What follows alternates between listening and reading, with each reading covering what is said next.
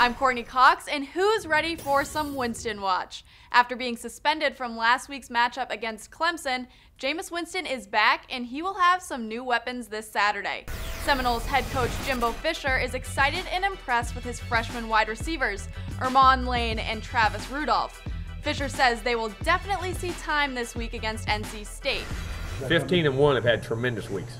Very proud of what that they're sometimes it takes you, you have a great week, then you hit that freshmanitis, I call it. Then they kind of, and all of a sudden, man, it just clicks back in, and I, they are playing fast. They know what to do.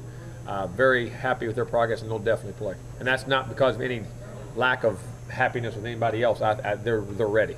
They're, I, I think they're really ready.